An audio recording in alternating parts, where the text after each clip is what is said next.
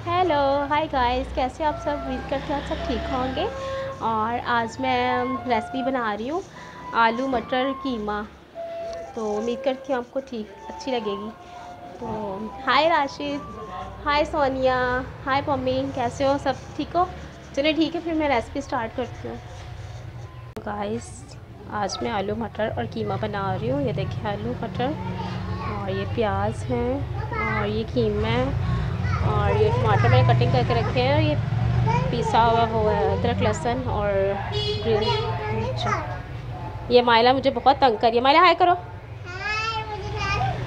किससे? किससे डर लगता है आपको? हाँ? हाय करो। अंजलि को अंजलि को हाय कर दो। चलो। अंजलि को हाय कर दो। बोलो, अंजलि कैसी हो?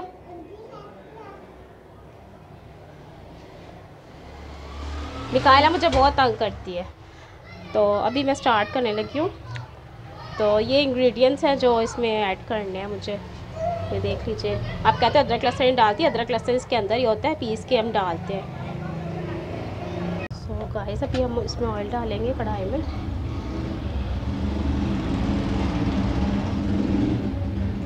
हिसाब से डालिएगा। और अभी ये मैंने प्याज कट करके रखे हुए थे ये डाल दीजिए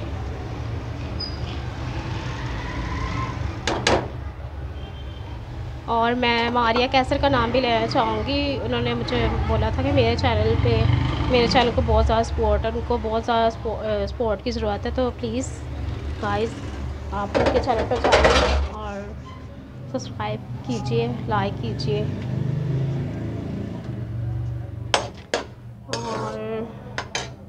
बस ये फ्राई होते हैं तो उसके बाद फिर हम निकाला। मुझे आज बहुत तंग किया था बार बार आ रही थी और बोल रही थी, मुझे आइसक्रीम खानी है। तो मना कर रही थी, फिर भी ज़िद से उसने आइसक्रीम ली है अभी आइसक्रीम ईट कर रही है। तो देखिए ये ब्राउन हो रहा है, फिर ब्राउन हो जाए।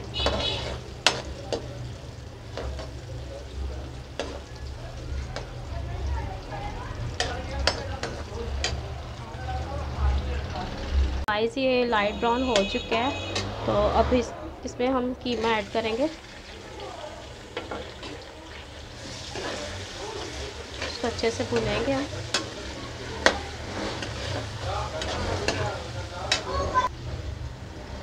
इसको हम अच्छे से भूनेंगे।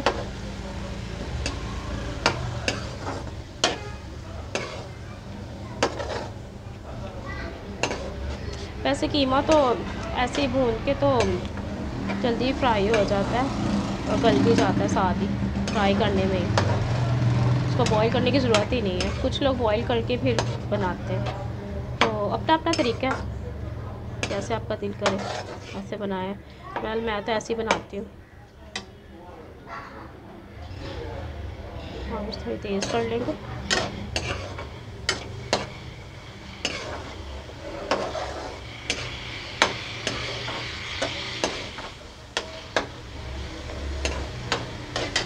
देखिए ये कीमा हमारा फ्राई हो चुका है इसमें ऑयल में। और अब इसमें मसाला डालेंगे।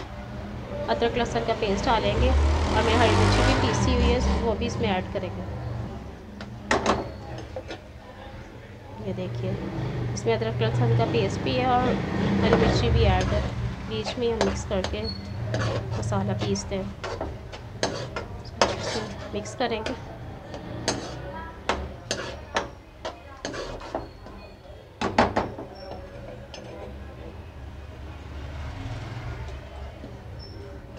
हम लोग कुछ ज़्यादा स्पाइसी खाते हैं। आप अपनी मर्ज़ी से ऐड कर लें जितना आप अच्छा लगे और अभी मैं मिक्स मसाला डालूँगी इसमें, ये वाला। हम लोग यही डालते हैं मिक्स होता है इसमें, सब कुछ होता है इसमें। अच्छे से मिक्स करूँगी।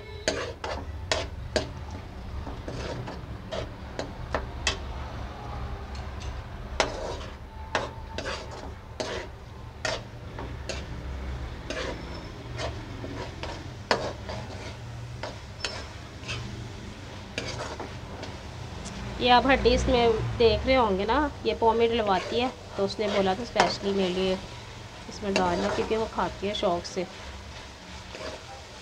तो ये आप आते नहीं, सुनाना कि हड्डी भी इसमें डाली हुई है, ठीक है ना? इसको अच्छे से भूल लेंगे हम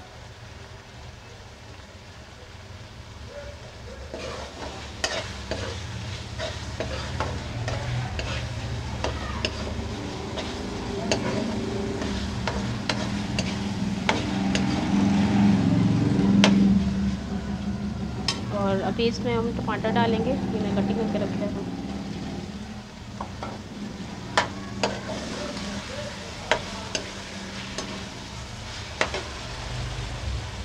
इसको अच्छे से मिक्स करेंगे।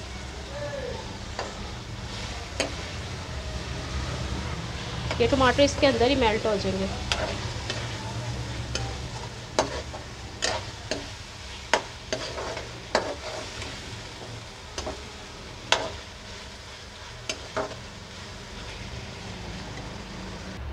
सो so, गाइस आप देख सकते हैं टमाटर मेल्ट हो चुके हैं।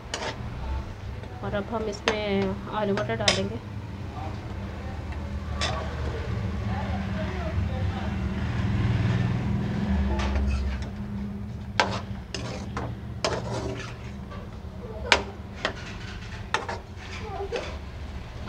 क्या हवा निकाला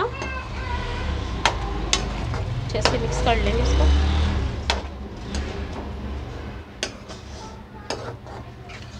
काफ़ी दिन से मैं सोच रही थी कि ये रेसिपी आप लोगों के साथ शेयर करूँगी।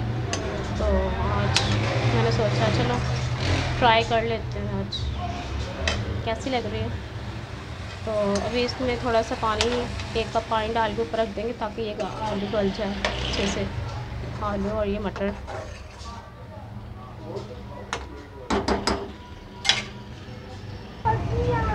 अच्छा वेज वेज वेज।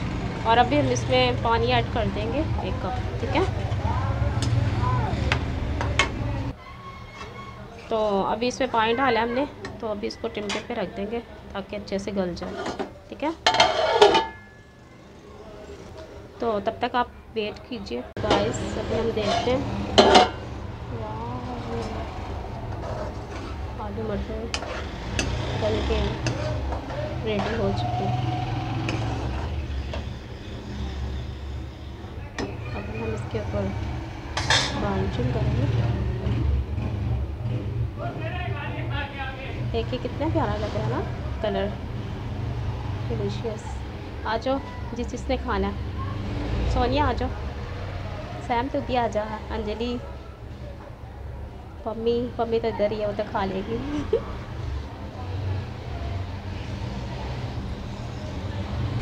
सो so गाइस आज की रेसिपी हमारी रेडी हो चुकी है, आप देख सकते हैं। और जिस जिसने आना है आ जाए